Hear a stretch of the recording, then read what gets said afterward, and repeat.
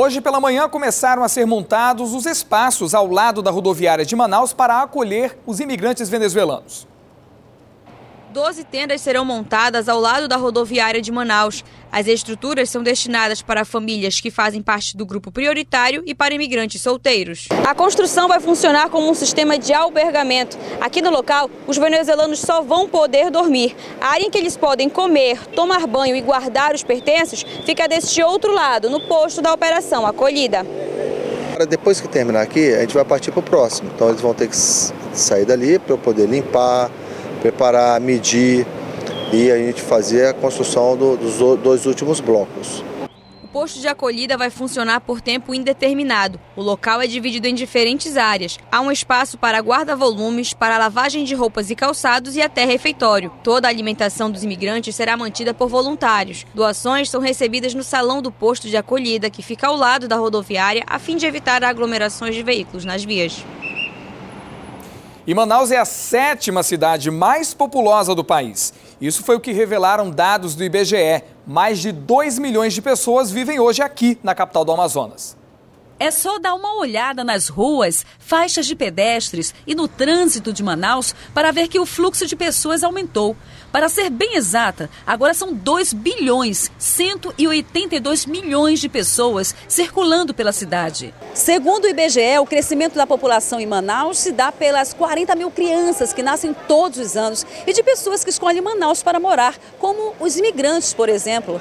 Essa migração que está ocorrendo no momento tanto no, no estado de Roraima quanto no estado do Amazonas e em outros estados vizinhos à, à, à fronteira com a Venezuela, também está sendo considerado. É possível ver haitianos e venezuelanos em frente à rodoviária, em abrigos ou trabalhando para sustentar a família.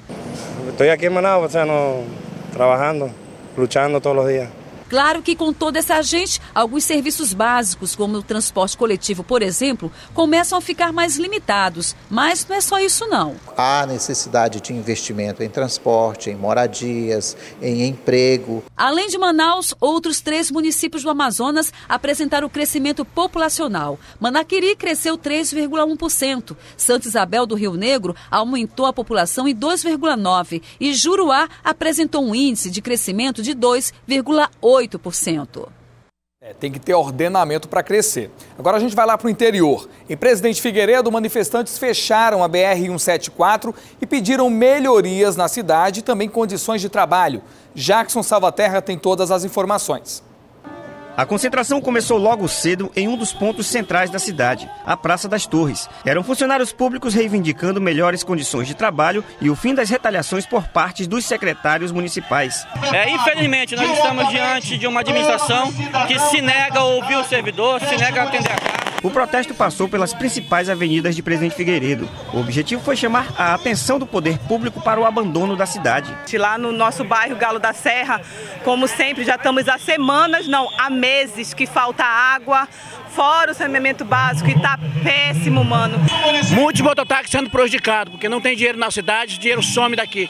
A BR-174 foi fechada por aproximadamente meia hora. Logo, uma fila de veículos se formou nos dois sentidos. Quem chegava do trabalho foi pego de surpresa. Eu não esperava isso, né? Eu já tinha visto alguns comentários, né? Mas eu não esperava que ia ser hoje, nem acontecer isso, né? Principalmente hoje na hora de eu ir para casa. Uma outra reivindicação vindo dos funcionários públicos é um decreto decreto que foi publicado no dia 31 de dezembro, em que o prefeito proíbe o pagamento de horas extras e adicionais noturnos.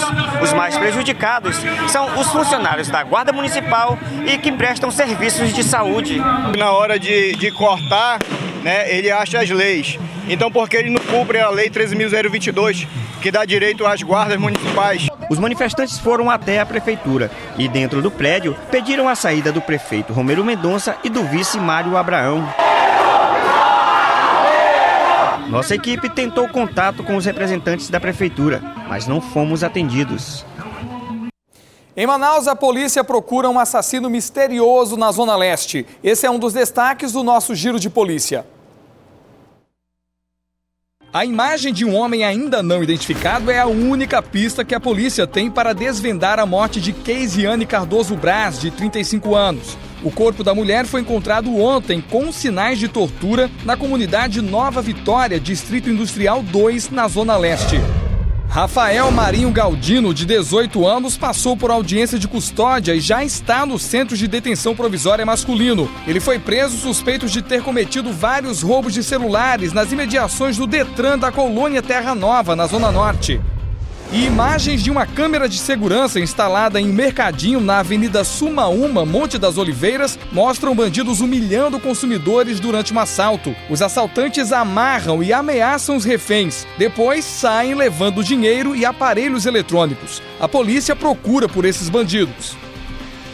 E veja no próximo bloco, no dia do combate ao tabagismo, o Ministério da Saúde aponta que o número de fumantes em Manaus caiu em relação ao ano passado. E o trabalho nas escolas faz parte das ações de combate ao cigarro. É daqui a pouquinho, depois do intervalo.